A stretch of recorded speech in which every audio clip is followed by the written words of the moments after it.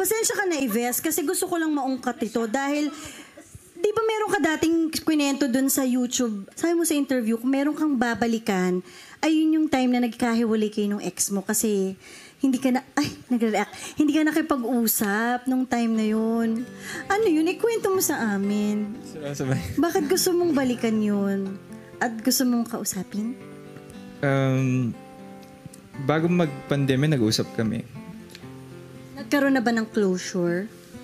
Um, siguro masabi ko meron. Kesa noon. Kaya ako siya gusto makausap kasi tingin ko hindi ako nakapagpaalam sa kanya na maayos. Naghiwalay kami ng, yun nga, walang closure.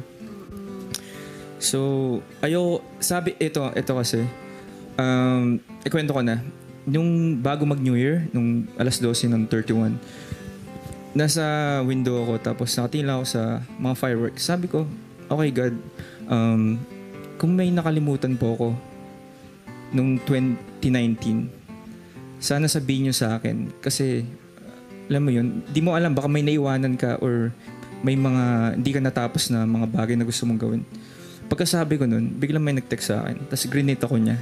Sabi niya, Happy New Year. Sabi ko, oh, siguro ito nga. Hindi ko, di ako nakapagpaalam sa kanya na maayos. O ito, um, ito halimbawa may chance ka ngayon, tas ito yung ex mo. Paano mo sasabihin na kung sorry ka talaga or ano? Um, I'm sorry kasi hindi tayo nag-last. Pero um, thank you kasi binigyan mo ako ng napakagandang memories at dadalhin ko yung kapag At tinetreasure ko yon at hindi kita makakalimutan. Ay, parang feeling ko ako talaga yung ex niyo. Pero humingi ka ba ng advice sa mga kasama, mga kapwa mo actors dito sa... Sa mga to? Oo. Hindi na siguro. Bakit?